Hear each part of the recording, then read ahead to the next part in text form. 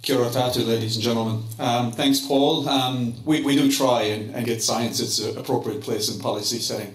Um, so I, my, my job here today is, is as uh, Paul said, is to talk about regaining consumer trust in a digital age. Now, I'm a, I'm a biophysical scientist by training.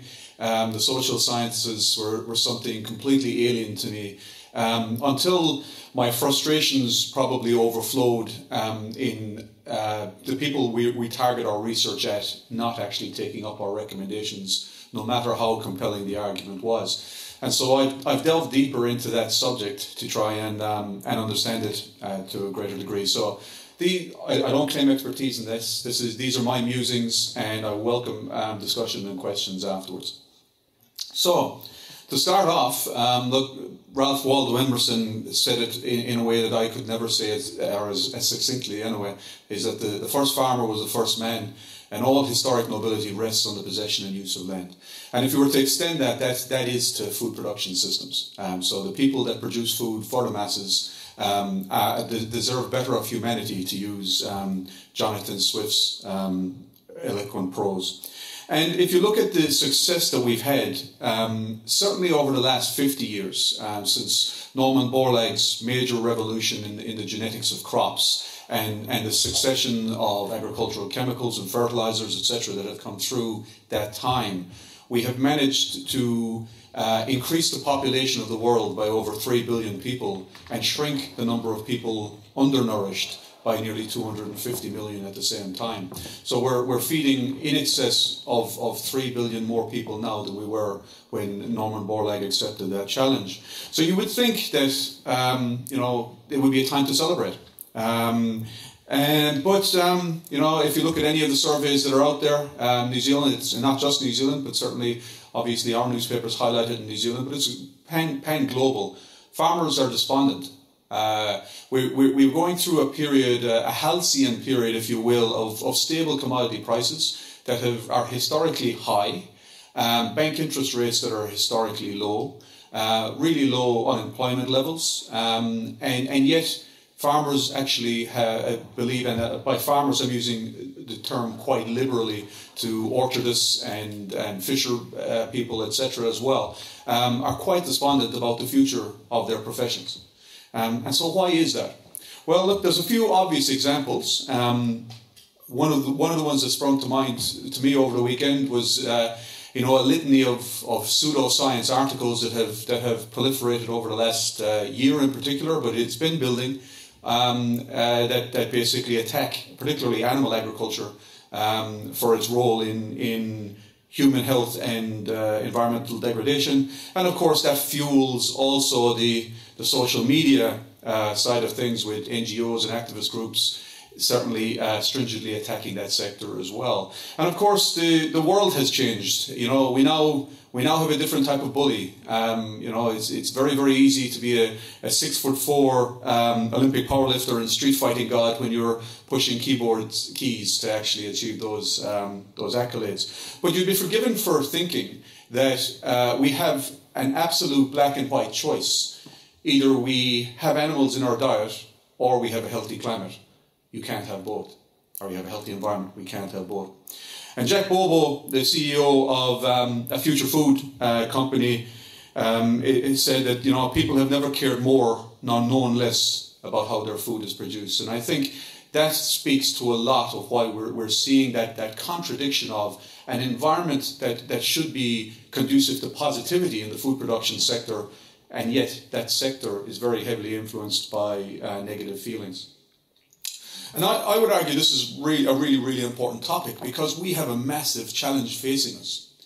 This is the calorie requirements for us to produce to feed the population of the world over the last 2,000 years and through for the next 30. Now, to put things in perspective, we have to produce almost as much food in the next 30 years as we have in the last 2,000.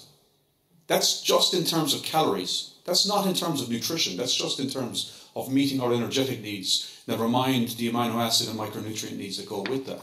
It's a massive, massive challenge. So, to move on to the topic, I'd like to break it down into three parts. Um, how do people form their opinions? I mean, what has led to this level of despondency? I threw up a couple of examples there, but they obviously have underlying reasons as well. Let's talk about consumer trust and, and what it means, and, and certainly what it means for us going forward as a, as a food exporting nation. And we'll talk about the digital age and what difference that makes. So let's let me let me dwell for a minute. Again, these are my musings, not not saying anything categorically as fact, but really really interested in your opinion uh, as we discuss this afterwards. Um, so, so people um, set, set their own standards. We all have our principles and we set our standards. This was a really interesting experiment uh, that was published in Science last year. And what it, I, will take a few seconds to, to explain this particular slide because there's a couple of slides coming and the graphs are very, very similar. So this was an experiment where they took uh, people and they, as individuals, they put them into a booth, they showed them a computer screen, and they gave them two buttons, blue or not blue. And then they flashed dots up on the screen that were a variation of from blue all the way through to purple and everything in between. And they asked the people to categorize were they looking at blue or were they looking at not blue.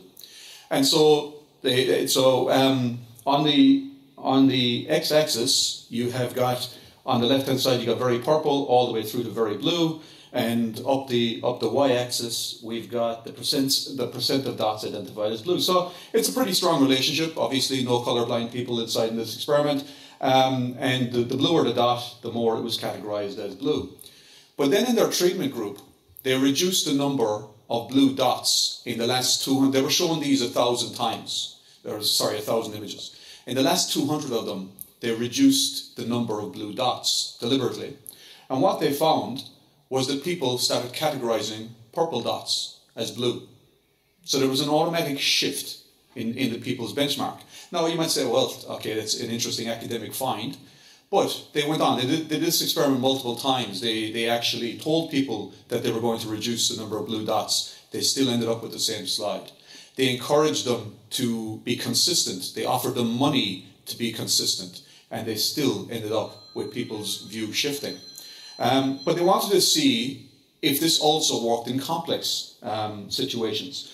So they looked at, um, they looked, they, they showed people 800 images of faces from threatening through to non-threatening. And again, you, will notice actually in the last slide probably that there's quite a bit of variation around these lines because obviously purple, blue, somebody's going to hit a blue button, somebody else might hit a purple button.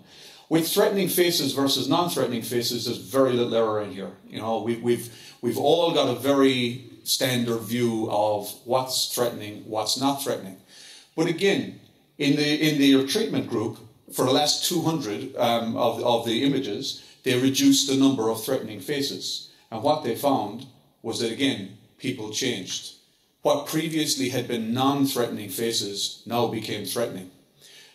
And they did a, a further um, experiment where they, they gave people research experiment proposals that were a, a, plethora from very ethical to very non-ethical. And again, people um, assigned them and assigned them relatively correctly. There's a degree of variation here, but as you'd expect.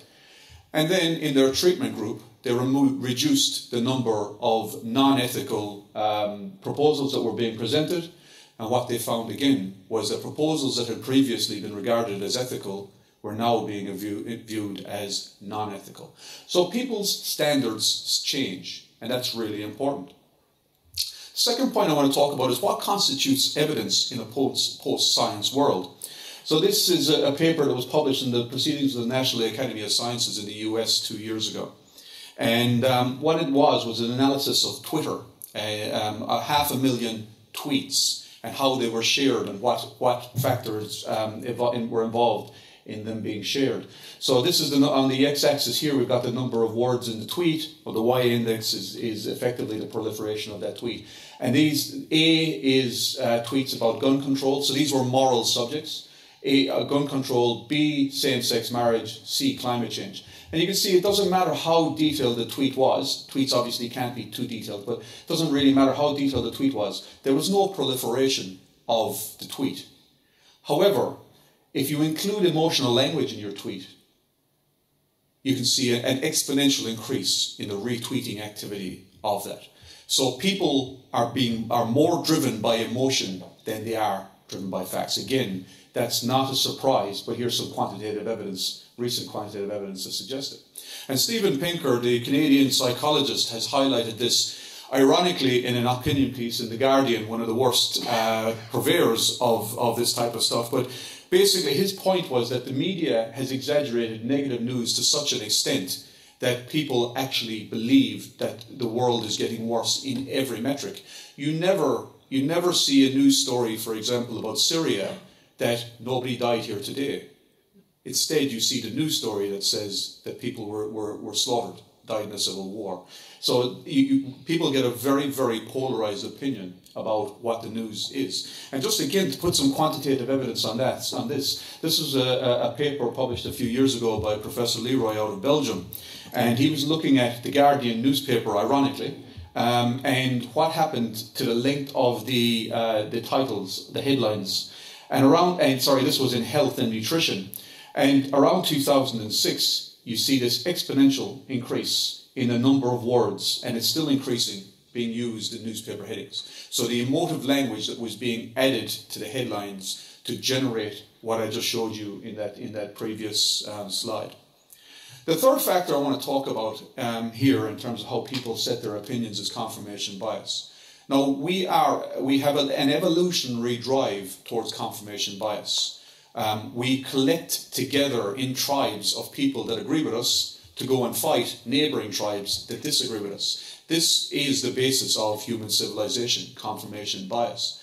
But again, we're in a world where this has, has, has changed. So this is the same paper that was in the Proceedings of National Academy of Science. Each dot, and it's the same data, so it's, it's dealing with gun control, same-sex marriage, climate change. Each dot is a tweet, and each line is a retweet. And what they've done is they've overlaid the political ideology of the group. So you have the Democrats on the left-hand side and the Republicans on the right-hand side. And what I take from that graph is that there is absolutely no sharing of information between the different political ideologies. They only share among themselves. So confirmation bias is being generated. And when you think that the statistics are that approximately 75% of Americans now get their news from social media, and social media curates the news so that if you like something, that's what your news feed gets populated with, we are seeing a world where uh, of dividing opinions and, and, and basically reinforcement of our own beliefs. And it frightens me actually, as I as I, I, have an instruction to my wife and children is that when my name is ever in a newspaper, never read the comments beneath the newspaper, because the level of hatred and vitriol that is poured out in those comments section, that's poured out in social media, is extraordinary. Now, people have said to me, it's always been that way. We've just provided them a forum for it. I don't remember that. I didn't grow up in a world with that level of hatred. So to me, it's, it's quite scary, and it doesn't take much for this to generate a platform for ideologues like we see around the world now elected into power in different countries. And of course, what, what we, we see a plethora of, of people with, with and I've, I've used a particular view here. I'm, um, I'm, I, I have no problem with veganism, I can assure you, on, until they start questioning my dietary habits. Um, but th- this is the type of, of uh, uh, emotional media that is spread around through those social media challenges. So it automatically drums up that support and it gets shared to a greater degree. So moving on quickly, um, I want to talk briefly about the digital age because this, this one I think is, is pretty short. Um, and people's main concern, I believe, about the digital age is that it is used, the dig- digital media are used to provide information that is not objective and is used primarily to influence an audience and further an agenda, often by presenting facts selectively to encourage a particular synthesis or perception. Ladies and gentlemen, that is a textbook dictionary definition of propaganda. And propaganda is not new. Two and a half thousand years ago, Darius the Great had his version of history inscribed on the Behistun walls in Iran in three different languages, the only three languages available at the time. That is our first recorded instance of propaganda. It's been with us a long time. But somehow, the belief that now this technology is available, it has set a platform for, for people to further views, often which are negative, and actually use them to get seemingly good people to do relatively unspeakable things. I mean, you look at this picture. These people aren't the, the hardcore white supremacists that you would, you would normally associate with this type of protest. But tell me, how is that different to this family setting in 1938 Germany, listening to this man encouraging good people to do unspeakable acts? It's no different. So, in my opinion, the digital era is actually a little bit of a misnomer. So, propaganda is the same, it's been with us for a long time. We understand it a bit better. There's no question about it. The medium is a bit more pervasive, and I'll talk about that later. But importantly, we use the same media. So, we're not at a disadvantage here if we understand what people want. So, let me talk about consumer trust. Um, and it's really, uh, my, my, my, challenge here was consumer trust in science. And the question really I'm asking is, does, does New Zealand have a science denial problem? So Peter has, been, has, has spoken a lot about this, and he certainly argued that we do. When you think about it, we've got anti-GM uh, lobbies, we've got anti-1080 lobbies, we've got anti-fluoride lobbies, we've got anti-chloride lobbies, or chlorine lobbies, I should say. Um, and we've got anti-vaccination lobbies. And, and our supermarkets and, and pharmacies are full of products that not only have not been proven to work, but many of them have been proven not to work. Um, so yes, I would argue that New Zealand probably does have a, a, science denial problem. So, but if we look at it, what do Kiwis say about science? Why would that be the case? Because I think it's important. If we're going to unpick this, if we are going to regain that consumer trust, we really need to understand why have we got that problem? So what do Kiwis think about science? So this is a Nielsen survey from 2014. 90% of them think it's an important subject to study. 83% think it's a worthwhile career to pursue. Obviously, they have no idea what we earn. 59% think science is important in their daily lives. Now, I don't know what planet the other 41% live on, but um, 59% apparently think science is important in their daily lives. 42% believe there is too little information about science. 35% believe it's too specialized to understand, and that's an important point that I think we need to, to, to think about. 51% believe that there's too much conflicting information. Um, so you've got different, you've got equally qualified scientists saying apparently opposite things. And I, one of the things that I think is most important, though, is that 62% of people believe that scientists need to listen to what ordinary people think um, that we're not getting through. And if you think about it, the, the homeopathy, the homeopathy revolution has been has occurred because doctors don't have time to listen to their patients in the same way as they may have 20, 30, 40 years ago. Why don't they trust us? I mean, all the surveys all over the world suggest that somewhere between 40 and 50% of people trust scientists. We're, we're, we're right up there with doctors. We're slightly ahead of politicians, thankfully. Um, well, because, I mean, we've never done anything that should lead them to distrust us, have we? Yet we stand on pedestals and wonder why they don't just trust us to interfere with their food. They want greater discussion about these things. And they also don't know who to believe. So if you look at Time magazine, the front cover of Time magazine in 1961 had Ancel Keys telling people he wouldn't allow his family to eat red meat more than once a week that it was it was the cause of heart disease in his opinion, in his qualified opinion, and as as someone that was world famous um, as a nutritionist, had great influence. Um, in 1999, the cover of Time magazine was "You shouldn't eat any animal products at all because cholesterol was what was driving this, and cholesterol was going to kill you." And 15 years later, in 2014, they they acknowledged, "Sorry guys, we got it wrong. Animal fat is fine. Eat away to your heart's content." And over that 50 year period, we ran the largest experiment in human history where we compared carnivores to carbivores. And our health system is now dealing with the consequences of it. So scientists, I would argue, are part of the problem. And I'm going, to, I'm going to put up a point of embarrassment here. This used to be a quote sitting below my email signature up until about five, five years ago. My argument was the facts are the facts, and if you don't want them, you're going to accept them. It was never very successful for me as I look back on it. And is that true? What I mean, is it true that all we all people really need is to hear the facts? So this was a really interesting experiment done by the University of British Columbia the animal welfare team there is, is world renowned.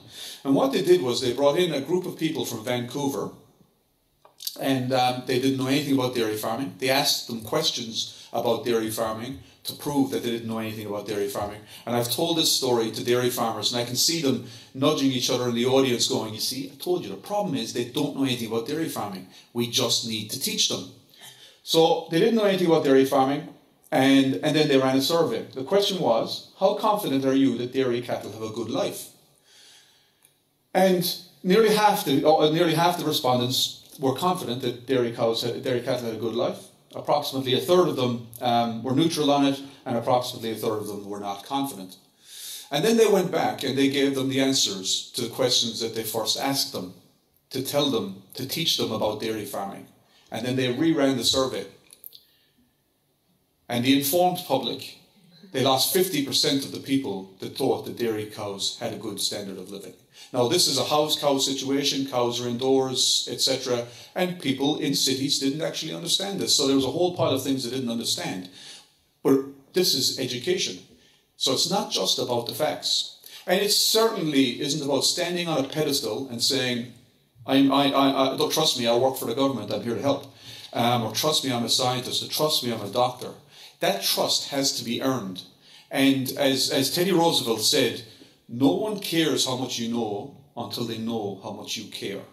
And I think that's the great thing that we've been missing from the scientific extension model, actually, until very, very recently. We now have a, an incredibly well fed uh, population in the developed world, overfed for the most part, overfed with the wrong foods, certainly at times, um, but living in, in uh, an era of peace that we haven't seen ever in the history of humans since World War II, or uh, you know, we we dealt with conflicts in isolated regions. We haven't dealt with uh, the the large majority of people in the world fighting in wars for more than fifty to sixty years.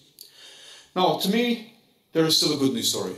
All right, so I'm not meaning to be despondent here. And one of the best uh, quotes that I share with my PhD students and my master students um, one of the best quotes I've seen about science is that um, from Peter Medawar is that I cannot give any scientist of any age better advice than this, and that's that the intensity of the conviction that a hypothesis is true has no bearing on whether it is true or not.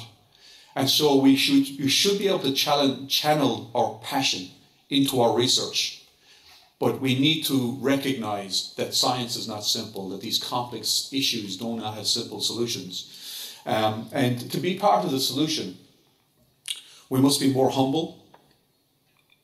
The consumer's concerns are valid, even if you think they aren't. So we, many of us have discussions about um, vaccinations, and uh, obviously the recent, uh, the, the current measles outbreak and epidemic is is raising those those discussions again. Um, and let, there's one thing I think we can agree on: that parents that vaccinate their children and parents that don't vaccinate their children love their children. So no parent is not vaccinating their child because they hate their child. And so the, the but the course of science over the last decade has been to ridicule those people. It has been to drive them into their own groups where you get the type of confirmation bias that I talked about earlier. Instead, we need to recognize their concerns. So I was talking with Paul before we stood up here. One of the issues I had was that doctors used to tell people that there is no risk. That's not true. There is a risk. You're 10 times more likely to be struck by lightning, but there is still a risk. And of course, what does the media do? The media doesn't run news reports every night showing you the statistics of all the people that never had an allergic reaction to the MMR vaccine. But the minute we have a child die from an MMR vaccine, that's on the news. And so people's view of the world is completely skewed. So there is a reason why they should be concerned, and there is a reason why the scientific community should take those concerns seriously. We must empathize we must be able to walk a mile in their shoes. And we must be genuine in that empathy as well, because trust is a really fragile thing. It's hard to earn, and once it's broken, it's really, really hard to regain. So, look, I think there is, I think there is a positive story here, um, and particularly for New Zealand. Um, our food production system is is is, is uh, uh, unique is, is probably a very strong word, but it is a lot, it is very very close to unique in terms of how we produce food in this country, and increasingly the wealthy of the world are buying a process rather than a product. They're they're carnivore, they're vegetarian, they're flexitarian.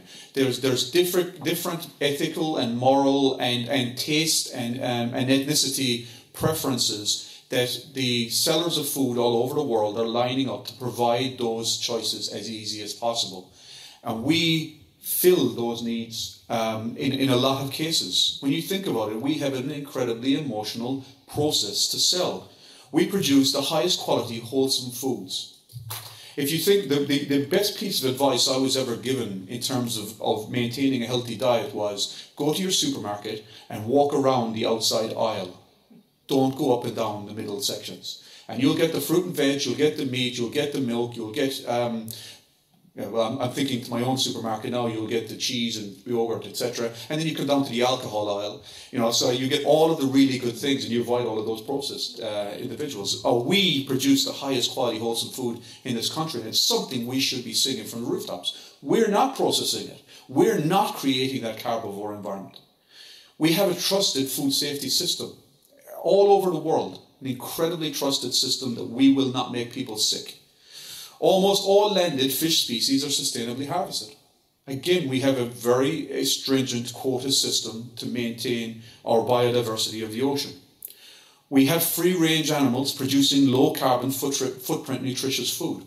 And if you move beyond the carbon footprint of calories, and if you move beyond greenhouse gas emissions to warming effect, we produce extremely high quality food with a very low carbon footprint. We can put lamb and beef and dairy products on a supermarket shelf in the UK at a lower carbon footprint than a UK farmer can. That's an extraordinary story. We need to tell that story. We produce high quality timber for building, um, particularly in Southeast Asia, and we have a biosecurity system that is second to no one. Um, and, and that's including even our neighbours across the ditch. Our biosecurity system is extremely, extremely strong. Again, the media does not give it the credit it deserves. It focuses in on Mycoplasma bovis, a cattle disease that was, has never been eradicated by anybody, and I'm, obviously ha, have, a, have a, a, deep role in that. Um, and at least at this point, it looks like we're winning that war. Um, that's the, but that's the one that's focused on. There's very little talk about fruit fly. And when we have fruit fly incursions, how fast the, the New Zealand biosecurity system stands up, shuts it down, and keeps trade flowing. We have a really strong biosecurity system. We have a wonderful country. We have the geographical area of the United Kingdom with four and a half million people. We have massive areas of wilderness, still wilderness, for us to enjoy on Sunday walks or multi-day hikes or, or whatever, and extremely well maintained by the, the service providers that, that maintain them. We're very, very fortunate. And yet, you wouldn't think it. I remember my, one of my last visits to the UK, working with farmers over there, one of the farmers asked me, What the hell are you doing over there? Because they were getting the newspaper articles from New Zealand talking about how degraded our environment was. And there was an article in the New York Times last week, uh, last month, I'm not sure if you saw it, from a, a prominent New Zealand scientist. And if having read that article, you would be forgiven for thinking that we didn't have rivers of sewage flowing through the Southern Alps of New Zealand. Um, I, am not saying we don't have our problems. I'm saying is we have a fantastic story to tell. We need to fix our problems as well. But I, I just wanted to put up this quote from Bill Clinton because I think it is, uh, some of you probably have seen it. I pulled it off a tourist site last night. Is that every person dreams of finding an enchanted place with beautiful mountains and breathtaking coastlines, clear lakes, and amazing wildlife. But most people give up on it because they've never been to New Zealand. I mean, that, that is a former president of the United States. That's how he talks about us. How many New Zealanders do you know that talk about us in that way? How many in the New Zealand press do you know that talk about us in that way? But, and I do want to stress this, we must genuinely engage with consumer concerns. So, despite all the positives I've just said, we've got fishing, bycatch, and biodiversity challenges that we need to deal with. We've got animal welfare problems that we need to deal with. We've got to make our waterways as sustainable as the general public in New Zealand require. We've got climate change. We've got our contribution to climate change, and we are going to have to adapt to climate change. And we, you know, we, we produce food, large quantities of it, and we use all of the technological advantages other than genetic modification to help us do that. So we need to embrace people's fears and concerns and, and genuinely and answer them. And we need to recognize, as I said earlier, that those expectations will continue to change. So when we meet the standards they're setting for us now, those standards are going to become more stringent. Remember those lines moving to the left when you take away um, ethical proposals, sorry, unethical proposals, ethical proposals then became unethical in their view. So to summarize, ladies and gentlemen, propaganda has been pervasive for millennia. There's nothing new here. The media is certainly um, is more pervasive. Every, every propaganda has always been controlled by the people that hold the airwaves. Now everyone holds the airwaves. So I'm not I'm not doubting that it's more pervasive. But the actual act of, of propaganda is exactly the same. There's nothing truer than we have lost consumer trust on a number of these things as well. And that's largely by not listening to their concerns with respect.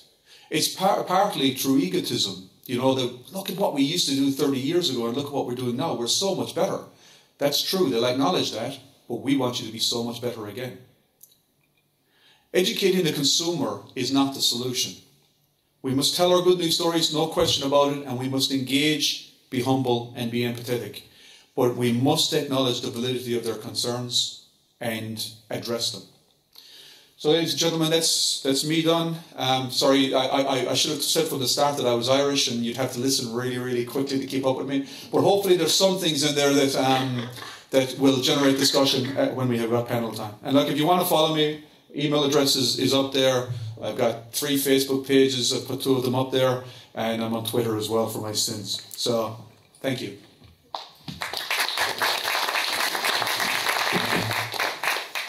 Thank you, Paul. Uh. Um, I'll just give you a moment while you get the chance to tune in to another Northern Hemisphere accent. I'm not Irish, I'm Scottish, and I'm going to tell you a little bit of Scottish history. And it's uh, great to be here today. So, we'll just get into it. The title of this presentation is Impact of Foodborne Illness for New Zealand, not just an upset stomach. I've heard that a lot in New Zealand. Oh, I was just crook for a couple of days. It's nothing really to worry about. But overall, when we're looking at the impacts, economic and societal, of foodborne disease, it is a big issue.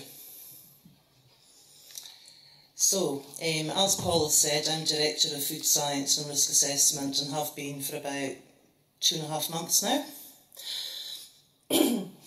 I lead a team of approximately 30 scientists who've got experience and scientific knowledge in microbiology, chemistry, toxicology, and food science in general.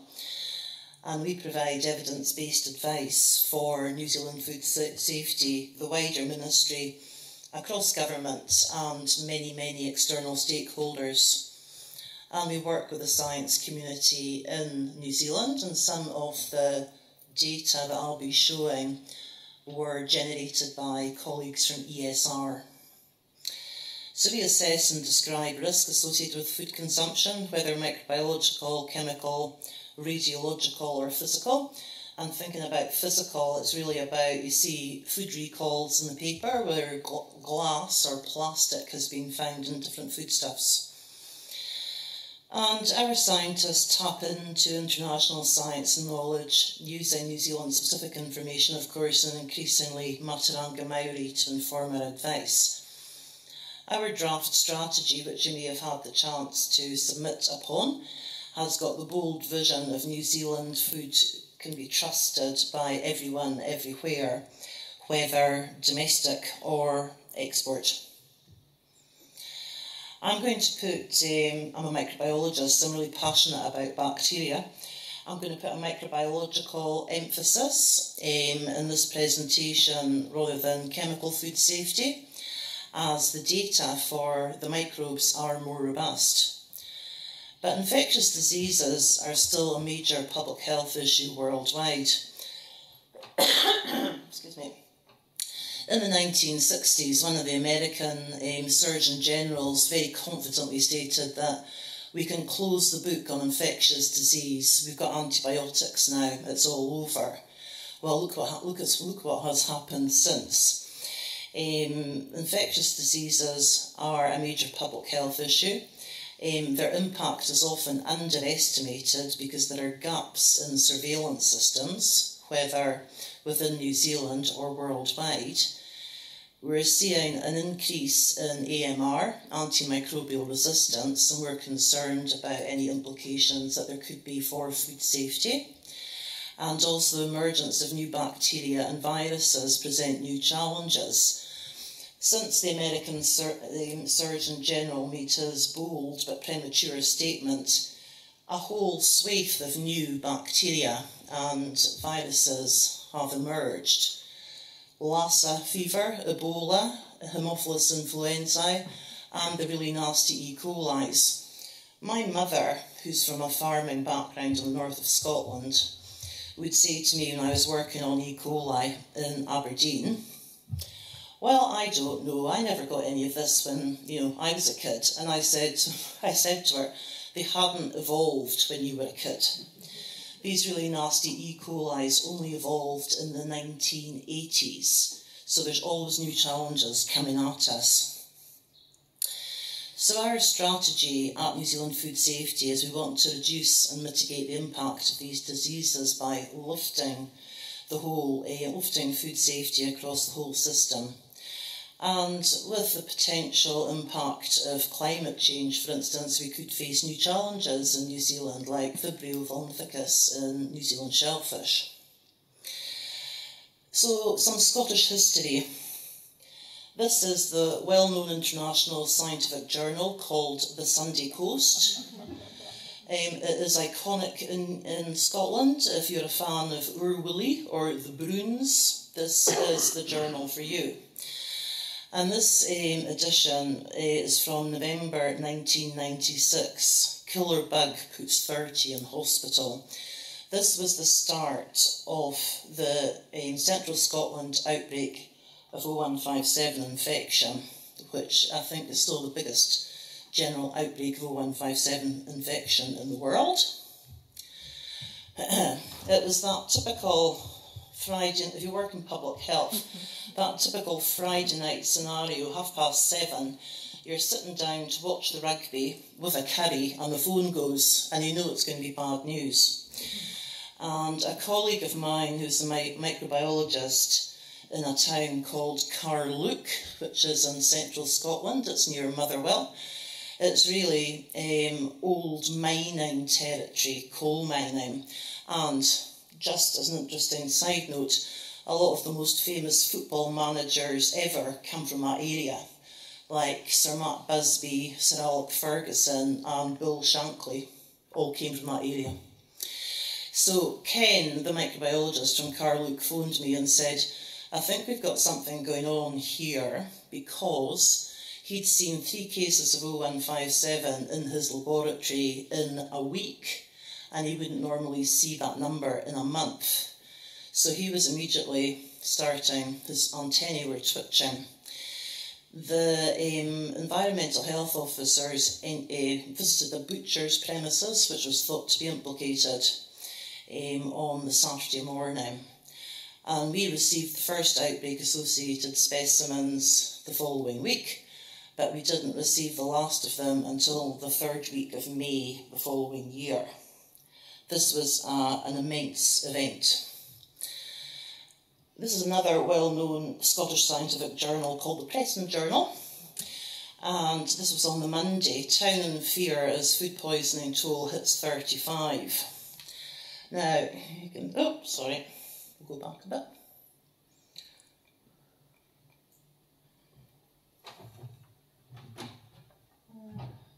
John, John Barr and Son uh, butchers, home bakers. Any alarm bells going off? uh, you can't actually make it out here, but um, his awards for Scottish Butcher of the Year for the previous two years were on the door. Scottish Butcher of the Year. Uh, this was the effect on the Scottish general public in response to this outbreak we actually, sort of veering into the social science a bit now, we actually started to see people developing a fear of food. It was real, a real issue. Okay, so what does one of these events look like? When you work in a reference laboratory, you're used to getting nice pure cultures of bacteria, We don't normally deal with complete tissue and fluid specimens from people who have died. We don't normally deal with fecal specimens, uh, some of which were just frank blood.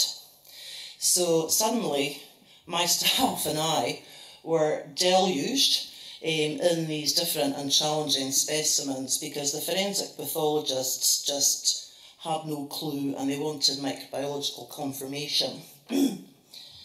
so I would say at this point for the women in the audience that the entire staff of this lab was female and some of us were pregnant at the time. but we still managed um, in the third week of January, we performed 6,000 tests on, these material, on all of this material, which was equivalent to 10 years' work in eight weeks. Now, you will note that this was over the festive period, Christmas, and a New Year, which is equally as important, if not more important, in the north of Scotland. So it was a major event. We also had a five ton refrigerated container plugged into the car park, and it contained carcasses, prime cats, mints, scotch eggs, you name it, it was in there. We did not isolate O157 from haggis, however. Uh, nothing can live in haggis. At the end of the outbreak, um, once the outbreak had sort of come to an end, there was a fatal accident inquiry, FAI, which is the equivalent of a coroner's inquest, because more than 21 people had died and more than 600 people were seriously ill. And the final reference lab load was uh, well over 5,000 specimens and we were in some cases we had to try to do serological testing to see whether people had been exposed. the costs associated with the outbreak, and this is really just um, initial.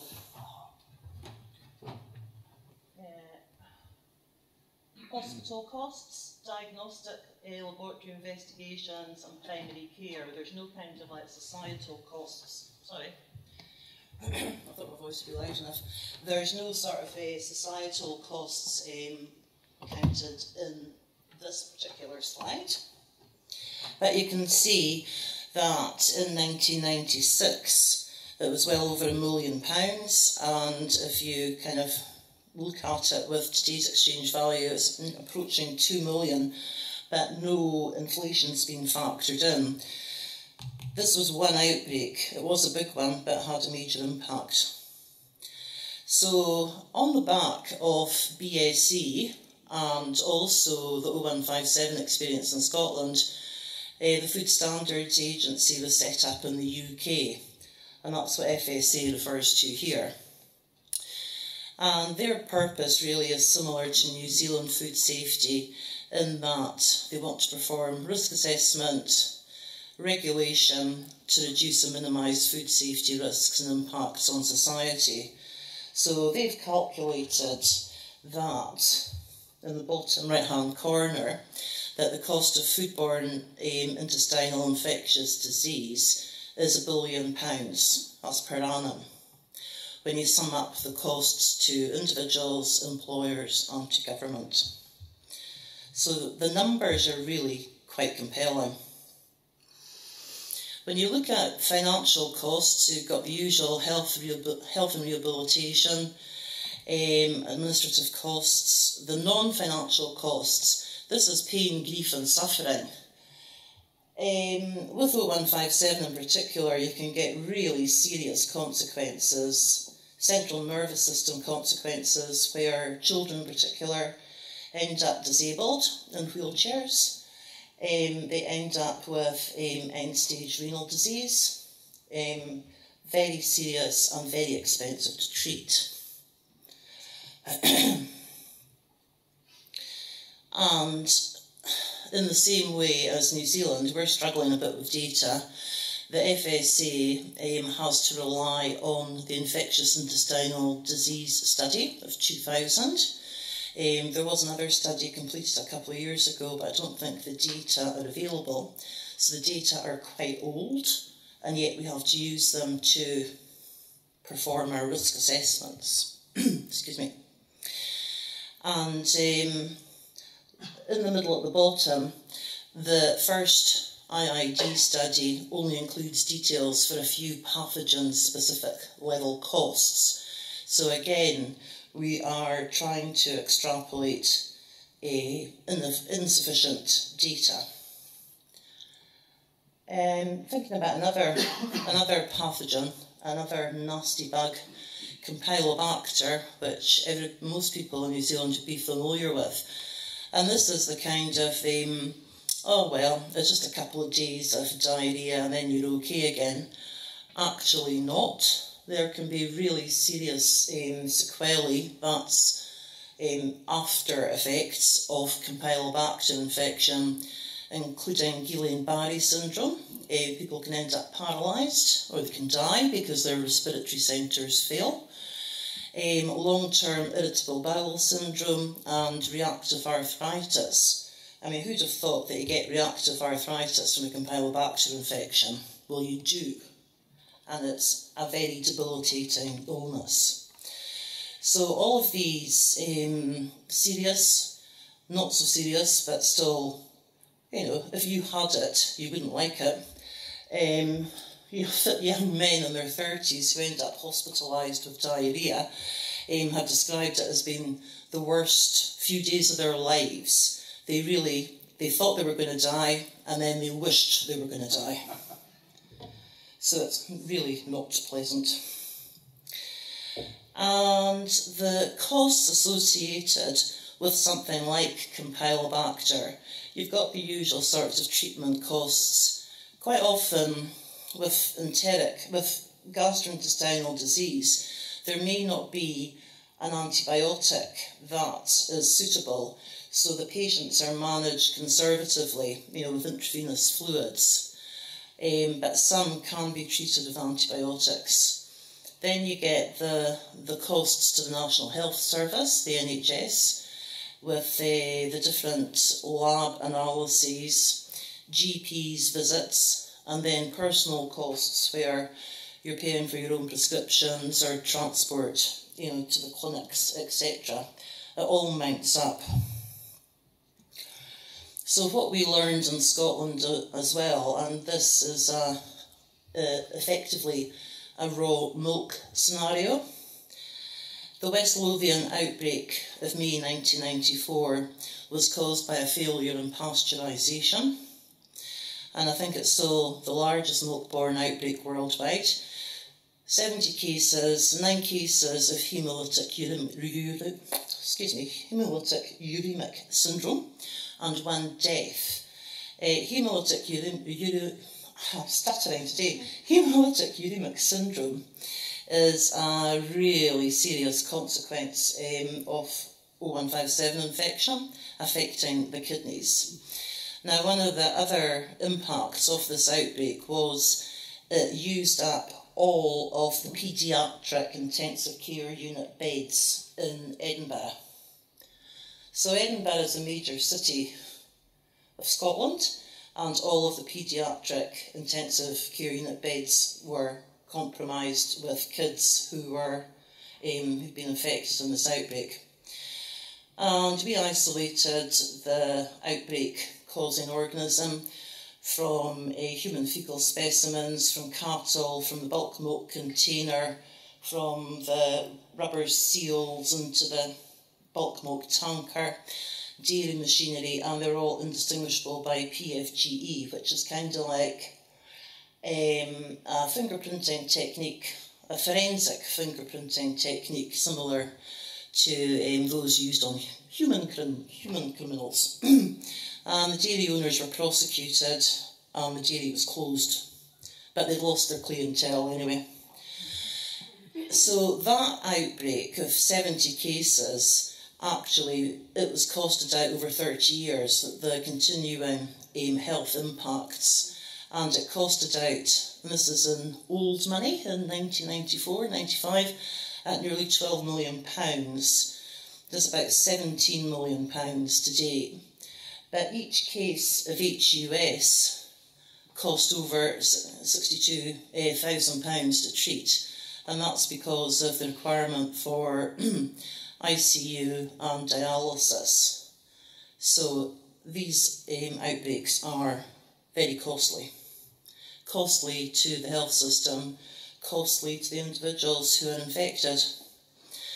And the problem really is, and this is entitled the New Zealand situation, but applies elsewhere in the world as well, is that we've got underdiagnosis of foodborne illness and we have gaps in our surveillance. So, in general, for foodborne illness, whether it's a norovirus, a rotavirus, um, what else, salmonella, a campylobacter, or a nasty E. coli, for every for every case that actually gets into national surveillance, there are approximately 222 cases that go undiagnosed in the community.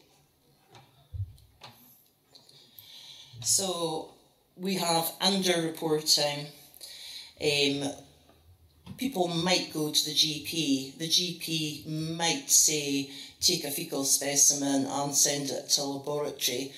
The fecal specimen may then not have anything isolated from it, or it might do, and then it might go into national surveillance. There's a lot of mights along the path.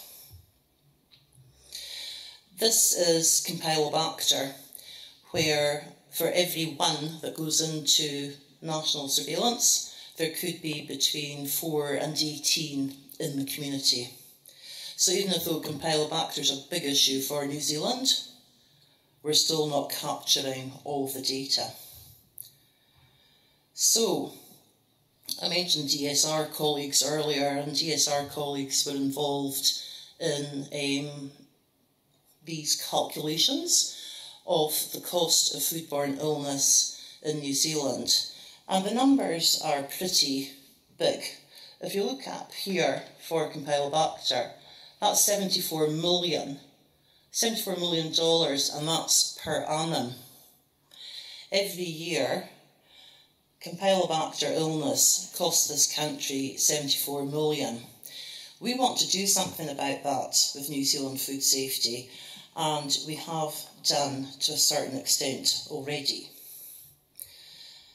This is a graph of reducing the incidence of human Campylobacter disease. And you can see that between I can't, is it?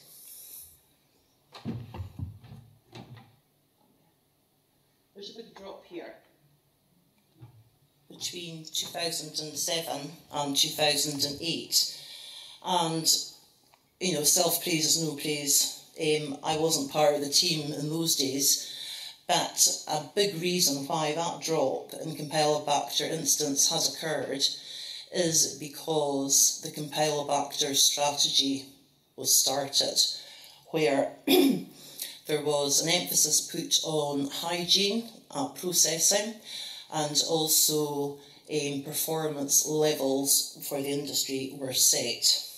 And that is part of the the rationale for this decrease taking place. Excuse me. so it is more than just an upset stomach. Foodborne disease creates significant societal costs, not solely economic. Uh, a major global public health issue of long standing.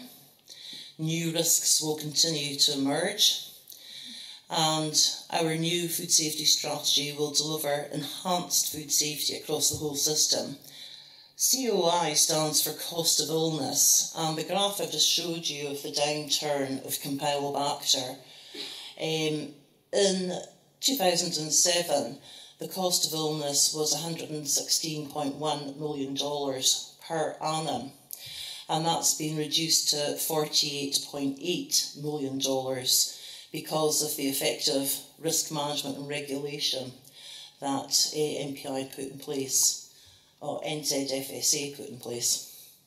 Uh, so we've been successful in delivering on strategic priorities, reducing the incidence of uh, Campylobacter disease. However, we can and are determined to do more. I'll just stop there. Thank you for your attention.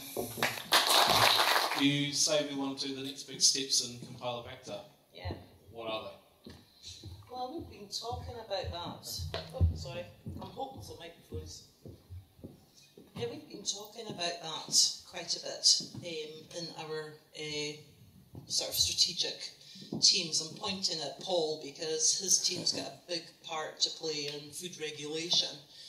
So we're wondering about um, being more visible on the ground, you know, being out there in, you know, in the processing environment and really lifting up the bonnet and having a good look underneath. Um, we are about to receive the results of another major study on Campylobacter, you know, the burden of illness um, in New Zealand with some case attribution data. So within the next few weeks, you should see some important messages coming out um, from that study. Um, we'll be following those tracks. Maybe I can just jump in here as well. Um, with there, there, will have to be a significant scientific aspect to this. There's, there's a whole lot of work that needs to be done here. Um, I think one thing we can reflect on, probably over the last few years, we've focused very much on managing hazards, so the level of bugs um, throughout the food chain up, on, up until that point of retail. But we estimate that around about 50% of foodborne illness, don't know if that's still right, happens post retail. So once the consumer picks up the food, takes it into the home, there are things that happen in the kitchen that we don't always like to speak about. Then there's a consumption of the food, and all these things lead to foodborne illness we, we, we feel that there is more that we can do in that space as well. That, that's not a regulatory function, but it is something that we in New Zealand Food Safety can, um, we hope we can uh, um, lead to some improvement there. Hi, um, I'm interested to know what the Ministry's point of view, or, or perhaps um, MPI and Ministry of Health's point of view is on the perception now that saturated fat is A-OK. Um, I'm not sure. I, I, well, I can't speak for the Ministry of Health that way first. Um, but the, I mean, the healthy eating guidelines allow for a consumption of approximately 500 grams of, of red meat per week. Um, anything more than that, there is, they, they recommend that there is an association with negative health outcomes. Um, most of that has to do with an increased risk of colorectal cancer rather than the association between uh, the intake of saturated fat and coronary heart disease. Now, there was a paper many of you probably have seen published last Monday uh, that basically disputed that evidence. Um, and um, yeah, I, I, think that needs further discussion.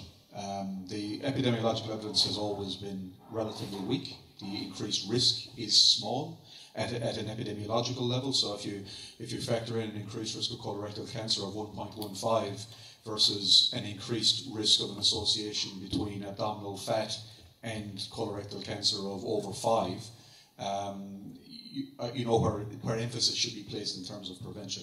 Um, can't speak for Ministry of Health, but that would be our opinion that meat, dairy um, should be part of a, of a healthy and balanced diet, unless there's medical reasons or religious reasons or, or choice reasons for not doing that.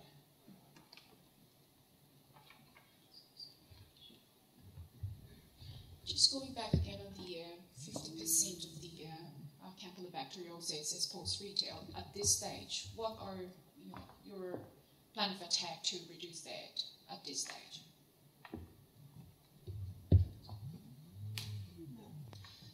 Um, sorry, could you repeat the question? Yeah, it's quite interesting that number is quite interesting that number is actually 50%, that uh, 50% of the kind of bacteriosis is actually post-retail. Um, I was kind of wondering whether, you know, at this stage, do we have any idea of the plan of attack to reduce that? Because normally the, uh, the focus is actually more on the poultry processors rather than the, the um, cases post-retail. So, uh, yeah, just in, in our minds, wondering what will be the plan of action there. Yeah, well, when Paul said that 50%, he said 50% of food poisoning and not specifically Campylobacter.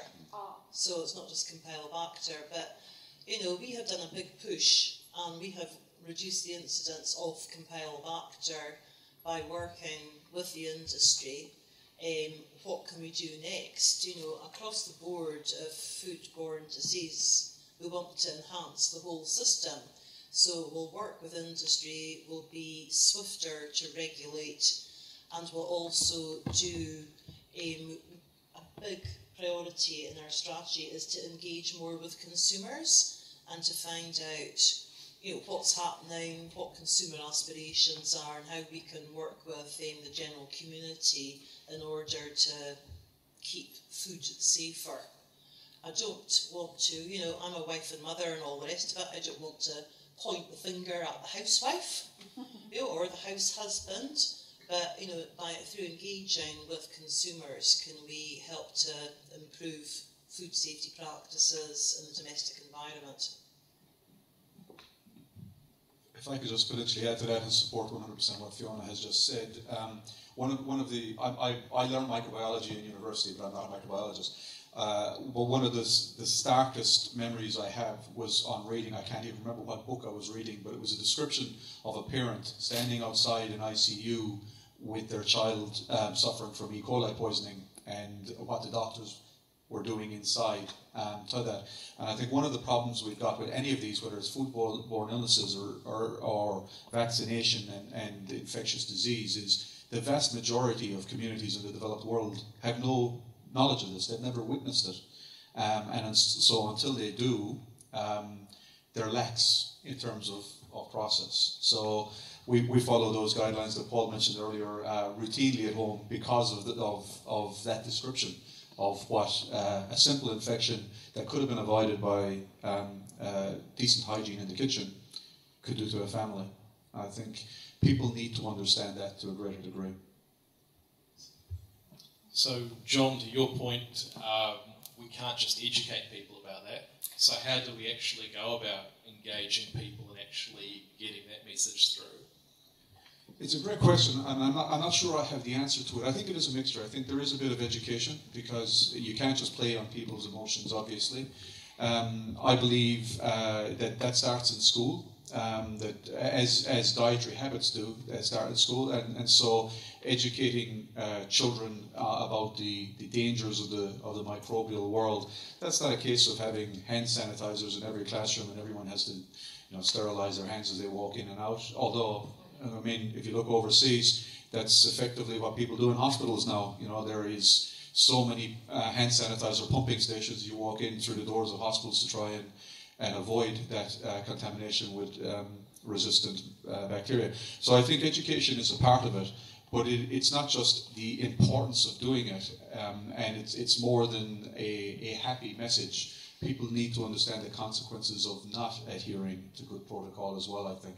And that's, that's very different because although the press have the policy of it bleeds, it leads, you know, when, when we're trying to inform consumers, it tends to be a very careful approach to not offend.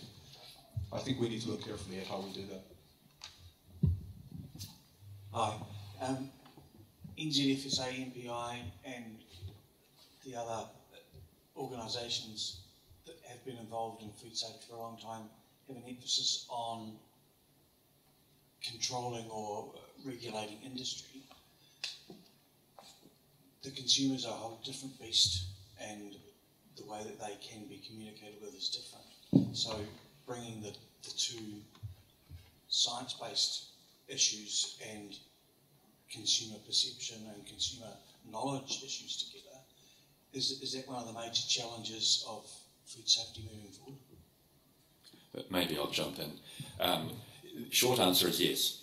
Uh, we, we, we think we're pretty good. Um, uh, we stand, I'm sure John might argue otherwise, but we, we think we're pretty good at working with the, the industry and, and, and technical agencies to understand how uh, hazards can contaminate the food chain or, or uh, microbes can, can grow, etc. And also, importantly, how to control those.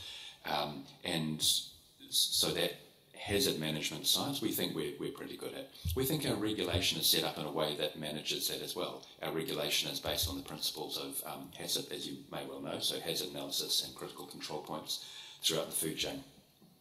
Um, and then we have a system of verification where industry runs its own um, practices and, and then is verified against that. So that proves or demonstrates how people are operating uh, appropriately. And, that's all well and good up until that point of retail. And then, of course, all bets are off. You have an entirely different audience. The same principles of managing hazards in the food chain, whether they're bugs or, or chemicals or whatever, are essentially the same. But instead of a maybe 40 odd thousand food businesses that are regulated entities and, and largely know what they're doing. We're dealing with 5 million consumers who, who will have varying degrees of um, expertise and, and, let's face it, interest in, in, this, in this matter. So, so my feeling is that we've, we've got quite a bit to learn about what that audience um, needs. As John said, what their aspirations are, how we can help them understand what, um, what matters in terms of food safety, and hopefully um, create the kind of behaviours that will allow those consumers to protect themselves. That's going to be a learning curve for us, uh, and, and it's, it's not an easy exercise. Hi, I'm a primary verifier actually at a meat plant, so I completely understand the challenges within the industry because once, like you say, it gets to retail and it leaves, we have absolutely no control. Um, consumers do have to take responsibility, but they can only do so with information.